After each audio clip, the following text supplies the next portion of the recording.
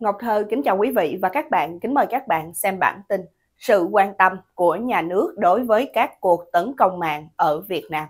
Ngày 25 tháng 8, một kênh truyền thông quốc tế tiếng Việt đưa tin về cuộc tấn công mạng ở Việt Nam.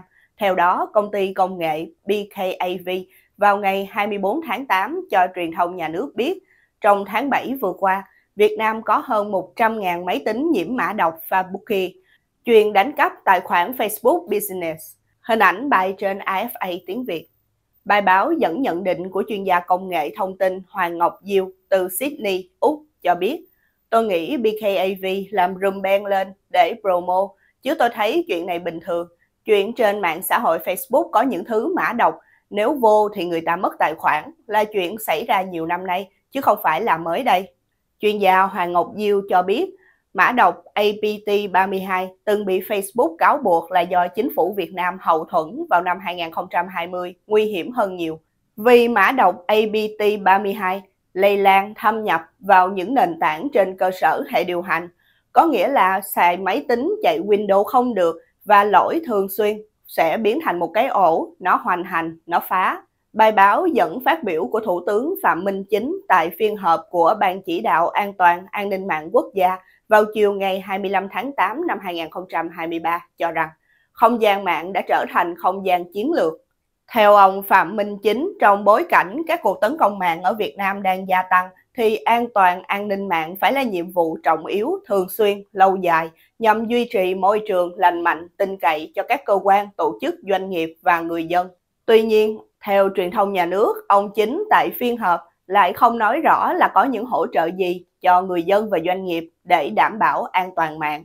Bài báo dẫn lời ông Diệp Quang Văn, giám đốc công ty công nghệ thông tin ở Bình Dương nói, công ty mình chỉ có tăng cường bảo mật lên thôi, các công ty khác thì mình không rõ chứ nhà nước thì không tác động cá nhân. Công ty mình lấy thông tin từ cơ quan thông tin đại chúng chứ hoàn toàn không có hỗ trợ nào về tài chính hay nhân lực từ chính phủ. Hình ảnh báo chí đưa tin về phát biểu của BKAV đối với tình trạng tấn công mạng. Ông Hoàng Ngọc Diêu cho rằng Hồi nào giờ nhà nước Việt Nam không ưu tiên bảo vệ cho người dân trên nền tảng mạng xã hội hay Internet. Đảng chỉ muốn bảo vệ đảng, bao nhiêu trường hợp người dân bị mất mát, họ không làm gì để bảo vệ hay đền bù. Những lý do họ đưa ra thay vì nói bảo vệ đảng, bảo vệ chế độ thì thù bỉ quá, nên họ nói bảo vệ cho người dân trên không gian mạng. Nhưng thực sự đó là kiểm soát thông tin để biết rõ người dân muốn gì phản đối gì, gây dư luận gì bất lợi cho đảng và chế độ, đó là cách họ kiểm soát.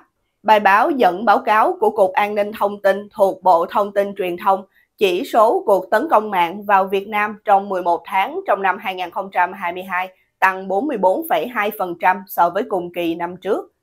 Bài báo dẫn nhận định của tiến sĩ Nguyễn Quang A, nguyên Chủ tịch Hội Tinh học Việt Nam cho biết, những con số thống kê thì thường gắn với từng giai đoạn, còn con số tấn công an ninh mạng thì cũng có thể thay đổi theo thời gian. Do đó chuyện người ta nói có thể giảm hay tăng là điều không có gì lạ. Nhưng vấn đề ở đây là bản thân các số liệu do cơ quan chức năng đưa ra thường không phản ánh thực tế cho lắm. Theo tiến sĩ Nguyễn Quang A, tình hình an toàn thông tin của Việt Nam hiện nay rất kém. Thứ nhất, vì các cơ sở nắm giữ thông tin như cơ quan nhà nước, ngân hàng, công ty chưa ý thức tốt lắm về vấn đề an toàn thông tin. Thứ hai, phải có quy trình và con người theo dõi bảo vệ an toàn thông tin vì Việt Nam chưa làm tốt. Lẽ ra theo tiến sĩ Nguyễn Quang A, luật an ninh mạng phải nâng cao nhận thức cho cơ quan nhà nước, xây dựng các tổ chức hay các bộ phận chuyên lo về an toàn thông tin. Chính phủ phải có các chính sách, thủ tục, kiểm tra, giám sát chặt chẽ. Đáng tiếc, tuy những vấn đề này cũng có được nhắc đến trong luật an ninh mạng, nhưng lại không được nhấn mạnh Thay vào đó, chính phủ lại lợi dụng luật an ninh mạng để chặn các thế lực bị cho là phản động. Điều này hoàn toàn lệch hướng so với trọng tâm của luật an ninh mạng. Quý vị và các bạn vừa theo dõi chương trình cập nhật tin tức của Ngọc Thơ thời báo chấm D với bản tin Sự quan tâm của nhà nước đối với các cuộc tấn công mạng ở Việt Nam. Nghịch lý trong kỷ lục vốn hóa của VinFast.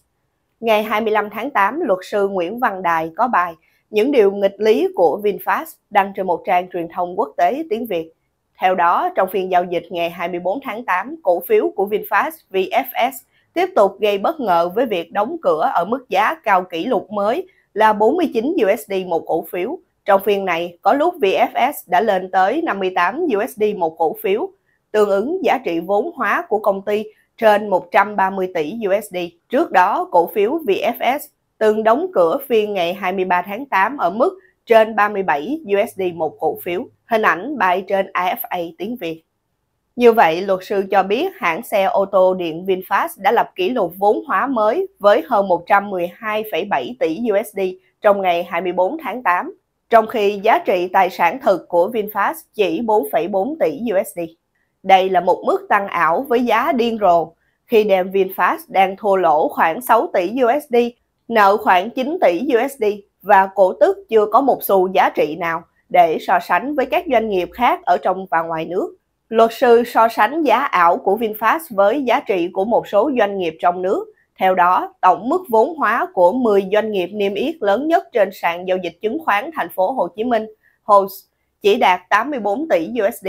Trong đó, Vietcombank tính đến hết ngày 23 tháng 8 chỉ đạt hơn 408.000 tỷ đồng, tương đương với 16,9 tỷ USD, chưa bằng 20% so với VinFast.